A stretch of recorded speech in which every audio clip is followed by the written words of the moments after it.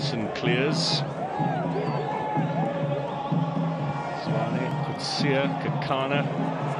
He goes for long range! Oh, that is magnificent! What a strike from Hlompho Kekana. It rattles from the one post to the net like a pinball. But it is solidly in the back of the net. And after eight minutes, Mamelodi Sundowns have the lead. An extraordinary goal. I think the goalkeeper just heard it whistle past him. What a strike.